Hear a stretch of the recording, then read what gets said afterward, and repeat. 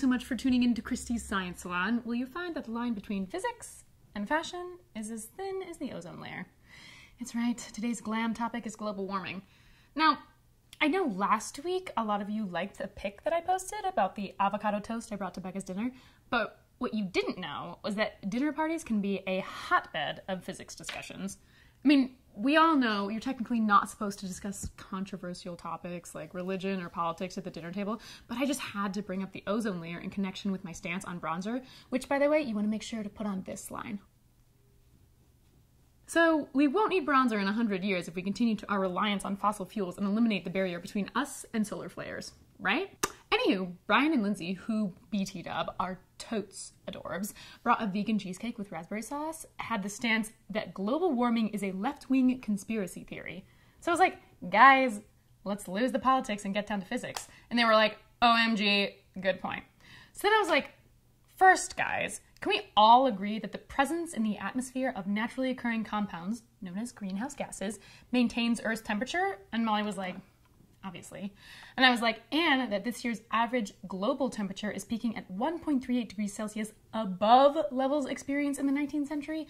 And Phil was like, I'm gonna go on a beer run. And then Molly was like, well, all I know is that the Intergovernmental Panel on Climate Change, the IPCC, has projected a likely temperature rise of 3 degrees Celsius in this century, which could cause a dangerous anthropologic interference with climate. Make sure you put your blush on the cheeks and we all ate our cauliflower mashed potatoes in total agreement. So, as you can see, dinner was really, really heating up, and then things started to sizzle. Becca was like, um, guys, naturally occurring greenhouse gases cause the Earth to be 33 degrees Celsius warmer than if there were no infrared trappings by the atmosphere. So it's clear that if we add even more CO2 with more fossil fuel, we should expect it to increase the overall surface temperature and contribute to the melting of our polar ice caps sooner than later and I am a big supporter of March of the Penguins. When Phil finally came back, he was all, I don't get it, which is like so Phil.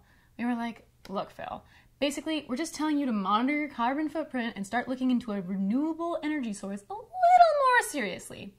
Then we ate this awesome cheese plate after that. Okay, guys, I hope you enjoyed this sun kissed look. And speaking of the sun, don't forget that all you have to do to raise the temperature of a dull dinner party is to bring up the greenhouse effect. It's a crowd pleasing topic that even Phil can understand. Maybe. Until next time, and please subscribe. We can convert sunlight into electricity with a couple of thin silicon wafers in a sandwich.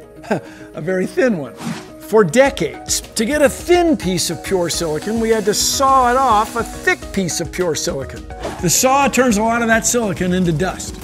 This process is fine for making integrated circuit chips for computers or smartphones because the amount of silicon used is so small.